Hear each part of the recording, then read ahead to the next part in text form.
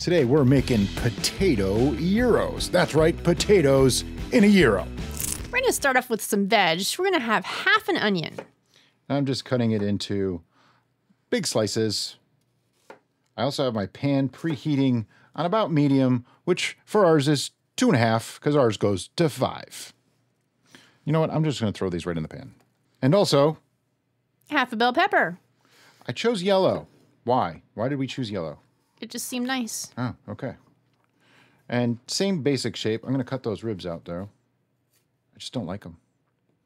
Same basic shape.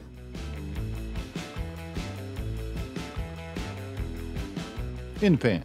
I didn't use any oil. I do want some of the liquid to come out, so I would like to use just a little bit of salt with this.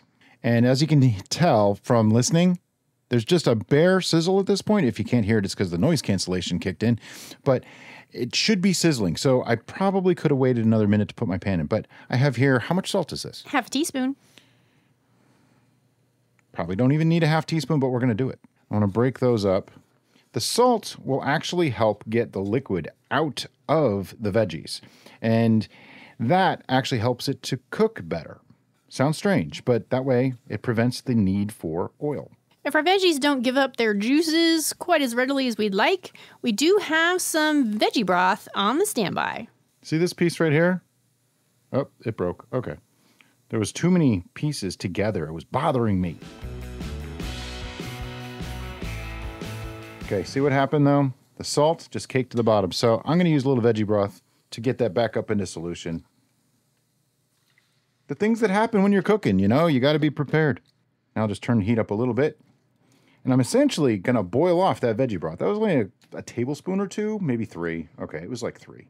I don't want to be one of those cooks that, oh yeah, I used a tablespoon and pour in half a bottle or something, you know?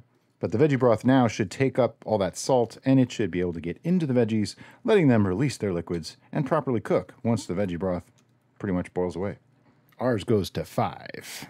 Once most of the liquid has cooked off, we have some herbs to add. What do we got? These are flavor enhancers that are just going to enhance the flavors naturally inherent in our veggies. So this is one teaspoon of no salt seasoning. This is the Kirkland, the one you get at Costco. If you can't find that one, I have my own brand. Yep. it's just a mixture of herbs, and I'll link that in the description below. Isn't there something else supposed to go in this? Black pepper. Fresh cracked black pepper. Now, as you can tell, all the liquid is basically gone. So I'm going to turn off the heat completely, mix this through, and we're going to set this to the side because we don't want it to burn. It would not be potato gyros without Potatoes. For this, we're just going to use two because we're just going to make a couple of them. And what I want to do is cut them into basically steak fry size. So cut like half an inch off that way, and then cut into half inch, well, maybe a little more than a quarter, maybe three eighths of an inch slices. And then cut each of those slices into like half inch wedges, chunks, pieces, whatever you want to call them, like that. I'm using red potatoes this time. We used um, actual russets the first time, and it was great. Um, I don't imagine that red potatoes are going to be that much different. You can use Yukon Golds or anything like that. If you see a little black spot in your potato, cut that right out. Nobody needs black spots in their potatoes, but it happens. Now I want to take those, these potatoes toss them in a bowl. They still have all their natural liquids on them. The water, oop, found a black spot. They have their natural liquids still on them, the waters and whatever that was in there. So that helps with the next step, which is Seasoning. Half a teaspoon of smoked paprika. I want to kind of spread it around. Half a teaspoon of garlic powder. Fresh cracked black pepper. Roughly half a teaspoon. A full teaspoon of dried thyme. And a teaspoon of dried oregano. And you want to toss to coat. Use your hand. Get in there. Get to know your food. Your hands are the best tools you got, as long as they're clean. We want to really coat these up. This is where a lot of the flavor is going to come from. We're going to use the air fryer, and I'm going to cook these at 360 degrees for about 18 minutes. But if you prefer to just use the oven, I would probably do it at 400 degrees for like 20 to 25 minutes. Almost the best part of the video, but we have changed over. Now we're going to assemble. But first, one thing I didn't show you. Slice of tomato. Nice big slice if you want.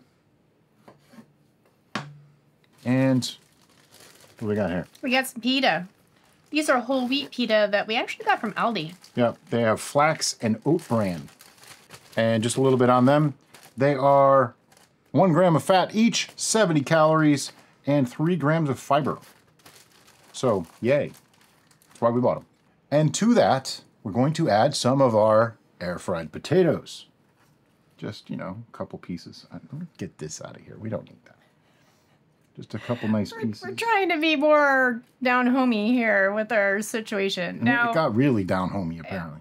we I'm just going to tell you straight out. We're going to put way too much stuff on this pita and it's going to be a complete mess to eat. Cuz that's how we do things here. Okay. Next up is our veg. I'm just going to eyeball that much. Look at that. More. More. He says more. Okay. All right, now we're going to put our Tomato. tomato.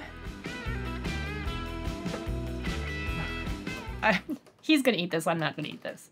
Why? because I can't I can't put my mouth around it. Trying to say I have a big mouth? Is that what you're saying? Next is our new favorite thing, and I know it's simple pleasures, right? It's really amazing though. The It's spring spring mix, mix from Aldi. from Aldi. We keep it in its tub. It stays really fresh in our refrigerator. I actually crammed the whole thing in our crisper just to make it extra extra fresh.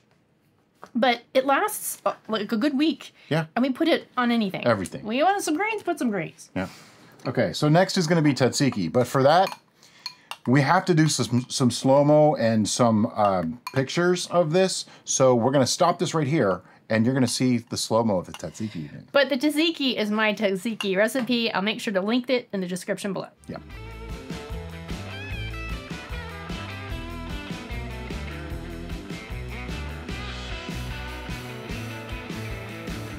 It's been sauced. Time to try it. You're gonna have a bite of this too. Come on. It's kind of crazy if you don't. You had to put up with me all day while we were making this. Come on. I, All right. Well, here we go. First, that tzatziki is amazing. She's cheating.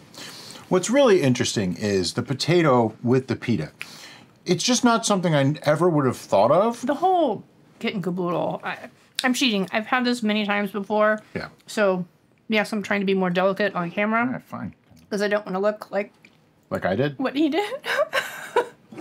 but all right. it is fantastic. Please try this. You will not be disappointed. I promise you that. Hmm. This isn't the kind of thing that I would put in the fridge and hold. The potatoes you can probably re-put in the t- air fryer. But, all right, before I make any more of a mess of my face, thank you so much for watching. We'll see you next time on The Bistro. Bistro.